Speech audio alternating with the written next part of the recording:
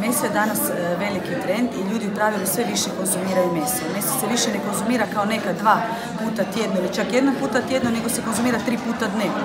To je velika opasnost za naše zdravlje i u pravilu to je sve trend nekakve zapadnjačke prehrane. Mesa je sasvim dovoljno tri puta tjedno i jednom do dva puta riba. I to je sasvim dovoljno za naš organizam.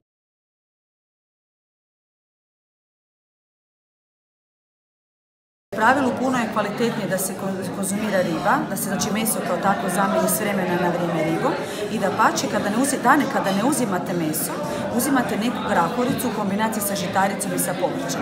Nekad ako se sjećate se jelo grazelje, grah s ričetom i to je u biti kompletan obrok. Grah i ričet, grah i zelje, kompletan obrok. Vama uz to ne treba kobasica, ali svi vole kobasicu.